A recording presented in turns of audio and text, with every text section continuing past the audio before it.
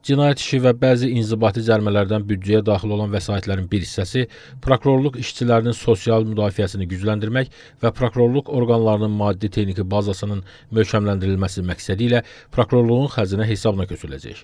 Bununla bağlı prokurorluq haqqında qanuna dəyişiklik layihəsi birinci oxunuşda Milli Məclisin bu gün keçirilən plenar iclasında müzakirəyə çıxarıldı. Milli Məclisin Hüquq Siyasəti və Dövlət Quruculuğu Komitəsinin üzvü Kamal Cəfərov reala dəyişikliklər barədə məlumat verdi. Azərbaycan Respublikasının prezidenti cənab İlham Əliyevin e, tövsiyələrini rəhbər tutaraq 2020-ci ildən prokurorluq orqanlarında həm qanunvericilik, həm institusional, həm də ciddi kadr islahatları həyata keçirilməkdədir.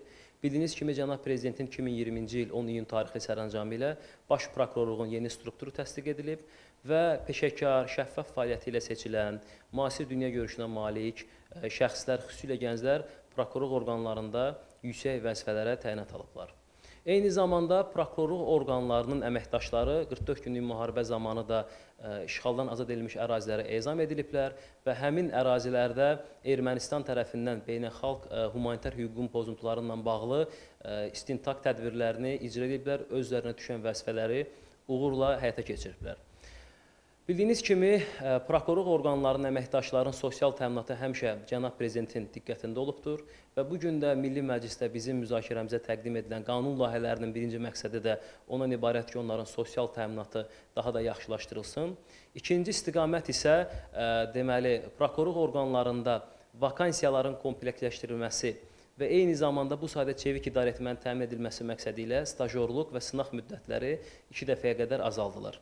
Üçüncü istiqamət isə e, bundan sonra prokurorluq orqanlarına daxil olan əməkdaşlar icbari təlimi Ədliyyə Akademiyasında deyil, Baş Prokurorluğun Elm Tədris Mərkəzində hə, keçirəcəklər. Bunun da öz səbəbləri var. Çünki artıq Elm Tədris Mərkəzi bir sıra ali təhsil müəssisələri ilə əməkdaşlıq memorandumu imzalayıbdır.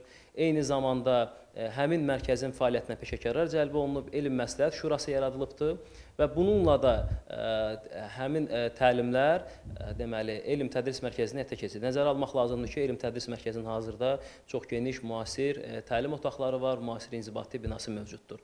Və bildiyiniz kimi ə, artıq ə, prokurorluq orqanları, baş prokurorluq xüsusilə mediada baş verən hadisələrə çevik reaksiya verir. E, misal üçün keçən e, həftə baş prokuror özü e, vətəndaşları ilə görüşmək üçün prezident administrasiyasının qarşısına getdi və bu cür yanaşma əlbəttə vətəndaşlar tərəfindən də demə müsbət qarşılanır.